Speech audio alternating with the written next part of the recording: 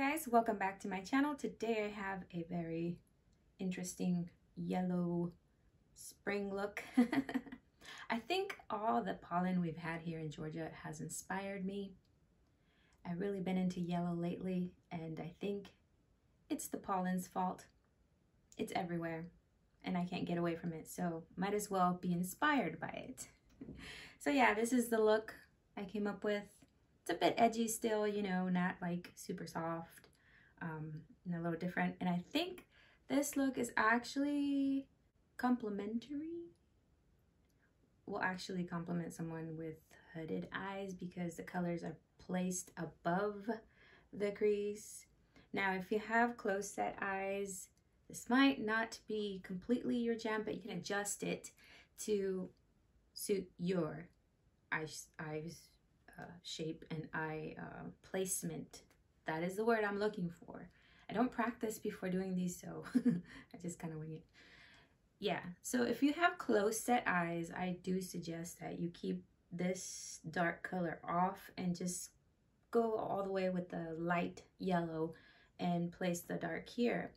Now, if your eyes are like mine, you can pull it off. Even if you have wide set eyes, then this will be great for you. So yeah, now that I've given you some tips, if you want to see how to go about recreating this look, keep watching.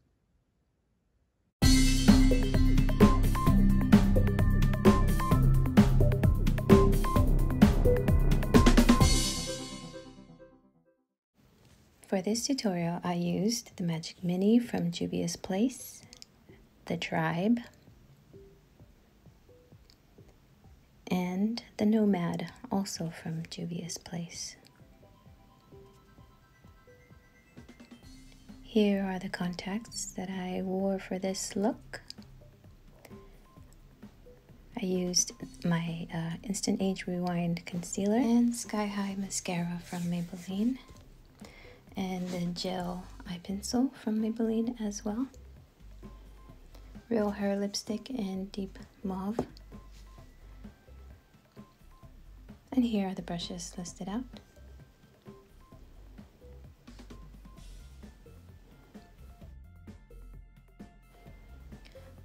Okay, let's begin. We're starting by with the concealer. We're to apply it all over the eyelid. Just patting it down gently. And a little bit underneath. Taking the blending brush, we're to go into the light yellow and apply it all over the eyelid while blending it.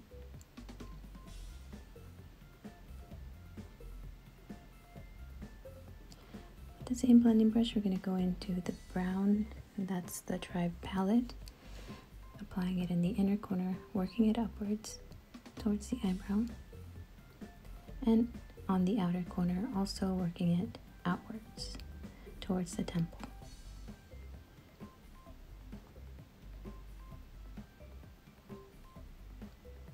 And blending it as well.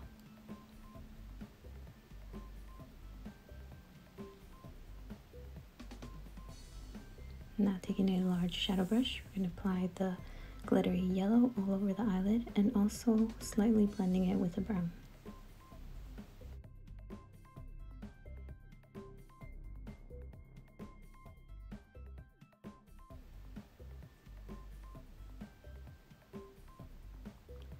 Taking a small shadow brush back into the brown from the Tribe palette and applying it underneath the eye and connecting it with the outer and inner corner.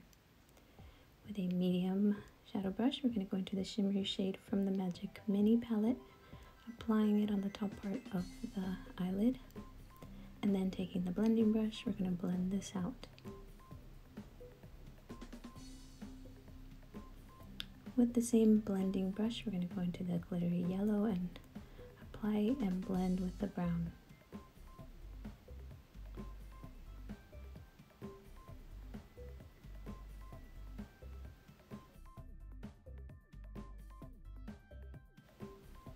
Now taking the eyeliner and the concealer brush, we're going to line the eye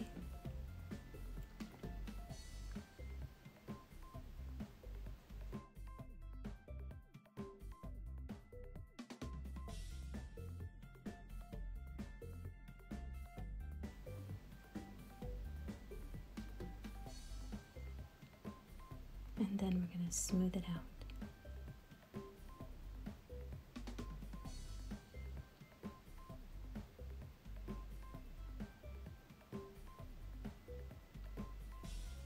And we're going to line underneath as well.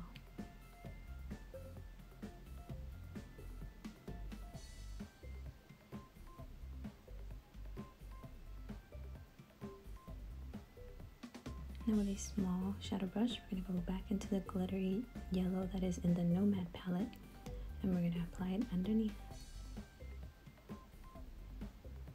Mascara.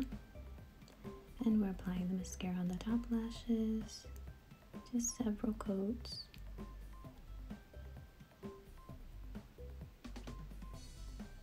And underneath as well. Now with the lip brush and the lipstick, we're going to apply the lip color to our lips.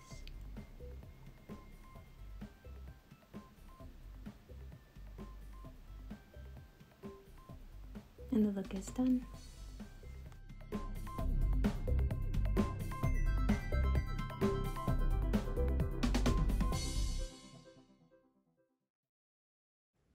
And you made it to the end of the tutorial. I hope you enjoyed it.